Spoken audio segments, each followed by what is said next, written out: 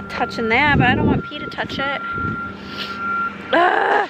Hey guys, so today's video is going to be a day in life with my two kiddos. So if you are new here, I am a stay-at-home mom with um, my toddler, Payton. She's 18 months, and then I have a two and a half month old little boy.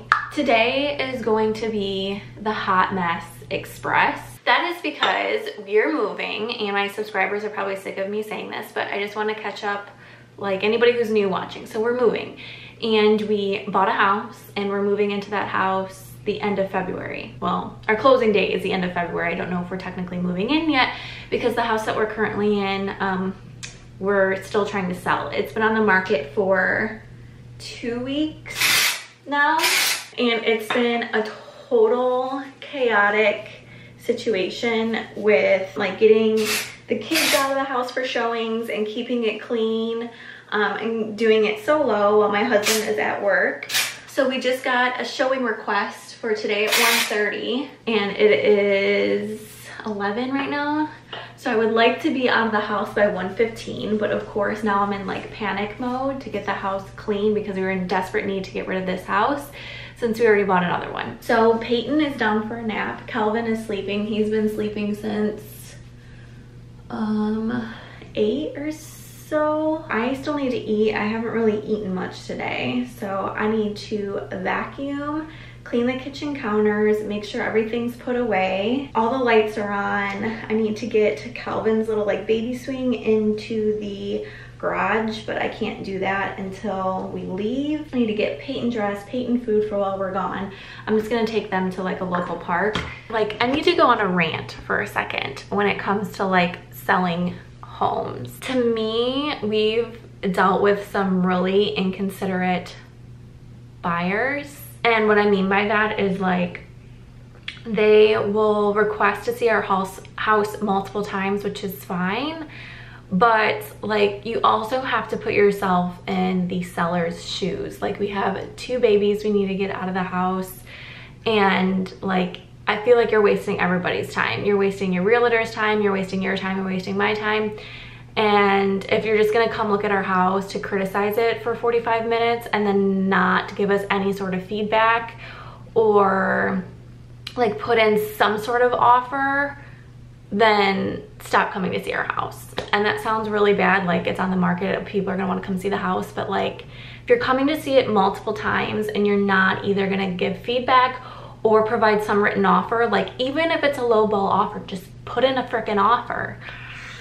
And some of the feedback we've gotten is like the rooms seem small so Jeff and I are trying to get rid of as much furniture as possible because we're not taking it to the new house anyways so we figure if we get rid of it that the rooms will look bigger so like our bedroom set is for sale we have like a random coffee table an elliptical and some other stuff that we're getting rid of so my priority is to get rid of all that stuff before our open house is we're having two open houses on Saturday and Sunday which that's another thing. Thankfully, Calvin um, is a really good sleeper, like out in public and like in the car and things like that. So we don't have to like worry about nap times um, with him at least. That's a total of eight hours this weekend that we have to like get the kids out of house, get it clean and while I think open houses are great to get like foot traffic in, I also think that it's kind of a double-edged sword because I think you're gonna have people walking through your home that just have nothing better to do and wanna go look at a house and they're not serious buyers. So it's kind of like a double-edged sword. I need to eat. I've barely eaten today. I need to make some coffee so I have energy to get through this chaotic day. Thankfully, I don't have to work out today because I worked out yesterday and I'm working out tomorrow. I think that's all I wanted to mention. I did start to record a weekend vlog this past weekend, but we did have a showing and things just got like really crazy and I was just not in a good mood. I don't think you guys wanted to watch that. So I'll insert a clip now to give you a quick update as far as like this past week on Payton and some other things that have happened. So I'll insert that now. I mentioned in last weekend's vlog that we bought a house. So um, the inspection was this past Friday and nothing major came up, which was great news. The house is only a year old, so we didn't suspect anything would come up, but that came back with flying colors. Our current home is still on the market. We haven't had any written offers yet but today we do have a showing at 4.30. This is gonna be the second time that this couple or group, I guess, I don't really know what they are, um, are coming back for a second time. So we're really, really crossing our fingers that they put in our offer. It seems like from the feedback they gave their realtor that they really liked the house. The reason why they didn't put in an offer the first time was because at the time we had two verbal offers, but they fell through because they were out of state buyers and they didn't want to be like in a bidding war type of situation. So they didn't put in an offer the original time they came. So we're really hoping that this time is gonna do the trick. So Payton actually ended up getting really sick this week. We went to a birthday party last Saturday and I think she caught something from that because there were quite a bit of kids there. She ended up getting like the stomach bug and she was like down for the count or out for the count for, oh gosh, she ended up throwing up. So this was a whole story too. So Tuesday night we had a showing. So Jeff came home early from work and we drove around. We were just gonna take Payton to a park. And on the way to the park, she ended up projectile vomiting in the car, all over the car seat, all over her. It was the first time she's ever thrown up. So of course she started crying. I'm sure she didn't know what the heck was happening. And plus it just doesn't feel good to throw up in general. So we didn't have a spare clothes or anything. So thankfully I did have like clothes that I was taking to donation in the back of my car that were like super tiny. She's 18 months and the clothing was like nine months. So she had like a onesie on that wasn't snapped, but at least she had like clean clothes on. Jeff threw away the pajamas she was wearing. And then ever since then, she did throw up two more times that night. And ever since then, she hasn't thrown up or anything, but she's just been like really lethargic and not herself at all, sleeping a lot, not eating. So she definitely had some sort of stomach bug. But happy news is that she's on the mend and feeling much better today. I would say she's probably like 80, 90% there. Eating a lot more, which I'm so happy. Like there's nothing more helpless feeling and heartbreaking than seeing your baby sick and not really being able to do anything for them. Our doctor said it was a virus and it just needed to like run its course. She couldn't like, there was no medication that they could give her basically. Just lots of love and Pedialyte and we did the brat diet. So it seemed to help even though she didn't really eat them. Okay, I think that's gonna do it. Literally all I put on was a little bit of concealer. And I didn't address this in my last video either, but I ended up getting my lash extensions back on. I had them on for like four to five years straight. And then when we moved to North Carolina, I took a break from them. Um, but I am back on the lash extension train and I feel so much more like myself, as ridiculous as that sounds. Just a little bit of concealer, a little bit of bronzer, that's it. And I feel like there was something else I was gonna tell you guys. Oh, I wanted to mention that I ended up purchasing my new Warby Parker glasses and, and I think our first vlog of 2020, I had you guys vote on which glasses um, to get and you guys voted on the Percy's. So those were the ones that I ended up getting. Let me see if I can get them on one-handed. So I love them. Um, definitely different than what I usually wear. I usually wear squares, but I must say, I really do like these. So thank you to everybody who voted. It was very helpful. Someone's going for a little ride outside. Go on, baby. Go on, little nugget. Get your feet in there. Good job. Good job, hon. Oh, yeah, get your feet in there first. There you go. Payton's going on a little drive. Say bye-bye. You ready, chicken nugget? Let's go. Vinny, stay here. Gotta get the headlights. Vinny, stay here. Bye, P. Bye, P. Okay, so I just got a little bit of breakfast going. I have some egg whites, some toast. So while that is finishing cooking, I'm gonna wipe down the floors in the kitchen and then the buzzer just went off for the laundry. So I also need to fold what is in the dryer. Calvin is kind of tossing and turning, so hopefully he stays asleep for like 15 minutes so I can get this done. 20 minutes and then um, probably feed him, hang out with him for a little bit. It is 10.30, so I still have a little bit of time. I have 11, three hours before they're here, about two and a half-ish, just after two and a half before we have to leave. But like my anxiety just gets like really going when I'm here by myself doing this because I just don't want to forget any, anything and I want to make sure the house is like perfect for the showing. So let's go ahead and clean up these floors.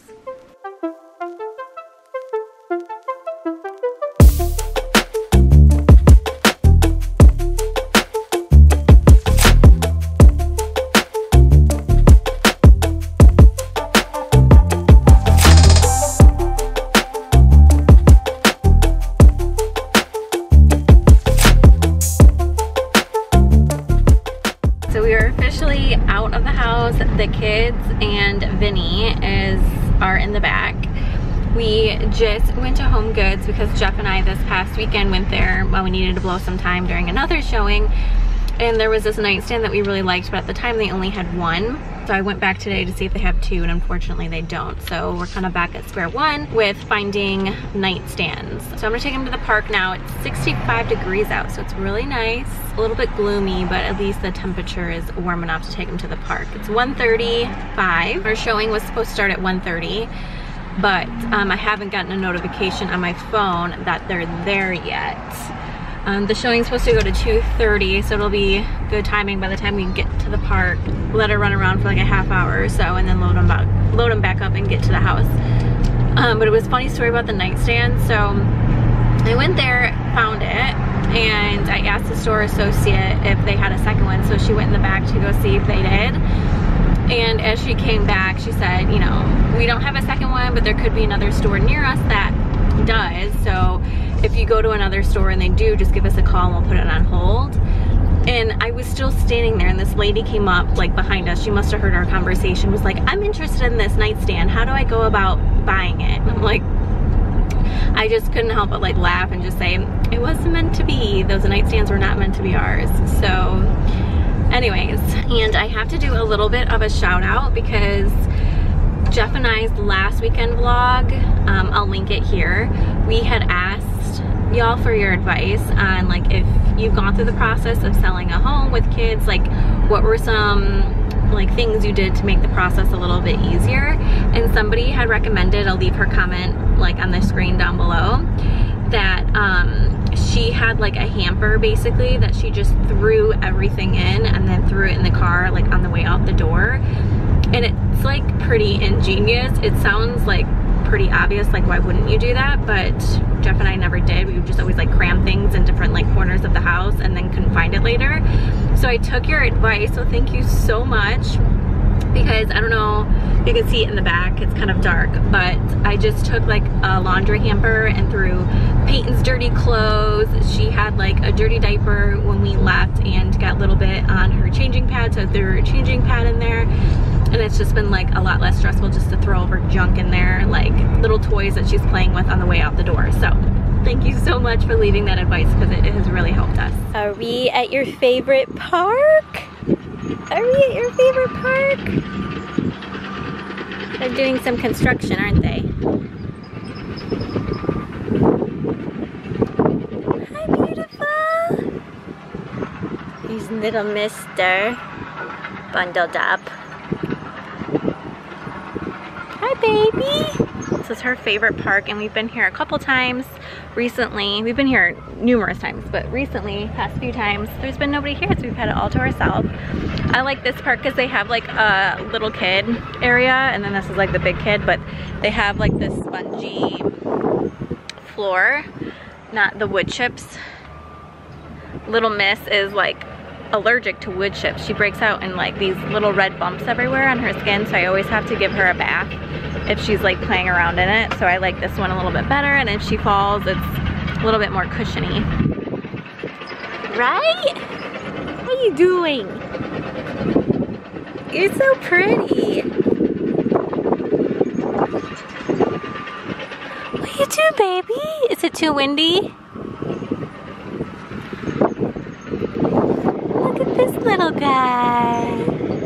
We're working on his cradle cap. His cradle cap's been kind of bad. When we were younger, we used to sit on the grass. You look so cute today. Hi, Dancy Dancy. by. Yeah. Can you say hi? People would tell us Busy to girl. Get a grip ourselves and get a job. We didn't care what we were told. Cause when we were younger, we used to sit on the grass and go, damn, I don't wanna grow. old." Slightly terrified right now. Is that a condom wrapper? Don't touch it, P. P, don't touch it. Freaking A, it is. Come on, at like a children's park, the frick. I'm not touching that, but I don't want P to touch it. Ugh. People are so disgusting. I have somebody coming over to the house. Um, in about an hour, I saw a Facebook post that somebody sadly lost their home to a fire. And they were looking for baby girl things. I don't think she has had the baby yet. I reached out to her and said that I had some like baby girl clothes I'd be happy to give to them. And I have like a crib sheet and like an infant towel and things like that. So Payton and I are heading upstairs to go grab like a baby gift bag so I can put everything neatly in there. I'll show you some of the things I'm giving to her because um, they're just so tiny and precious. Yep, we're gonna go get the gift bag, right? We're working on climbing stairs. Mostly climbing downstairs safely. Payton has her baby. I actually sold the elliptical today too, so somebody's gonna come pick that up around 6.30 when Jeff is home, because I get really weird when people come to get things when we're by ourselves. Come on, strong girl. We're gonna go this way. This way. Yeah, that really, that would have hurt if you dropped it on your foot. Come on. So I have this little organizer from Target that I actually store all of our gift bags in, and then I have this box up here that I put like all of our tissue paper and like gift cards and things. So, and I labeled them. So this one is like blank and birthday, this one's special occasion, like weddings and babies, and then Christmas. So I need to find a pretty, actually this one would probably work. Put everything in there. Actually, just having a girl, I'll put it in there for her. Should do it. And where do you think you're going? Oh, you're gonna go label something? It's like a laptop, isn't it? Okay, bye. bye. Are you coming back? Are you gonna label something? Like mother, like daughter. What'd you find? Oh, you're typing up something? I have a couple of things from Calvin that I'm gonna give her. Just some like plain white sleepers. They're newborn. But then Payton stuff. This little black tutu onesie. This is my little black dress. Um, and then just some like random onesies. I think these are three month. Yeah. So then I have like a bunch of those, some little pants, a random like baby book, little unicorn hooded towel, and then I have a crate and barrel that I never used quilt. So cute, has a little hippo on it. She um she has the crib sheet, but we've never used the quilt. And then I'm gonna give her our crib skirt because her crib is so low now that we can't use a crib skirt. So I figured she'll have some nice goodies for her little one. And it's so sad that her and her family lost her home. And I would hope that somebody would help us. So um, putting some good vibes out there and helping another family. Bubby, can you say hi? Tom, you're a smiley boy. You happy? Happy. Yeah. So I just got bath. Calvin and I are just gonna do some floor time. It's 8.30ish. Jeff is working a little bit. Payton has been in bed for quite some time. I don't know if I've said that he's had a bath already. He has really severe cradle cap right now. And um, this mom group that I'm in, like local to this area, I posted a comment asking for recommendations on how to cure like severe cradle cap. Payton had a little bit, but not as bad as Calvin. His hair looks really blonde right there. Um, And a lot of people were saying coconut oil, olive oil. What else were they saying? Oh, the, I think Frida Baby has like a kit system thing. Mustela has a system. It's like a, it's like a shampoo and a cream. Um, so we decided to try like the all natural at home remedies first. So yesterday I spent quite a bit of time putting coconut oil on his head and just using like a little comb and trying to loosen up everything. It looks a lot better today. His face is a little red right now, I think just from the bath. But I have been using this Babyganics Organic Lip and Face Balm on his face because his cheeks tend to look a little red and dry. Um, but when I put that on there, like within an hour, half hour or so, it looks a lot better. Right? Look how handsome you are. Um, what else did I want to mention? So the showing, yeah, they never ended up showing up. So, so much for a showing. That was really frustrating, especially since I started the blog ranting about how inconsiderate people are. but I guess it just wasn't meant to be. So we have the two open houses this weekend, and then our realtors are suggesting that we have another one next weekend. so yeah, just trying to get this house sold. Jeff and I are both under a lot of stress with selling it. Trying to stay positive. Jeff and I buried St. Anthony in our front yard yesterday because his aunt told him. Joseph. I thought it was St. Anthony. Anthony's who you pray to when you lose something. Well, we lost a lot of money on this house, so maybe we should pray to St. Anthony. Um, we buried St. Joseph, sorry, Jeff corrected me, into the front yard because his aunt mentioned that um, it should help, hopefully. Only helps if you believe. Yes. So please, please, please say a prayer for us that um, we're able to sell this home and just move on with our lives. But we are really looking forward to the new house. That's lifting our spirits, right, Cal? But I am going to go ahead and close out this video. I hope you guys enjoyed following us along in a day in the life. And we will see you in the next one.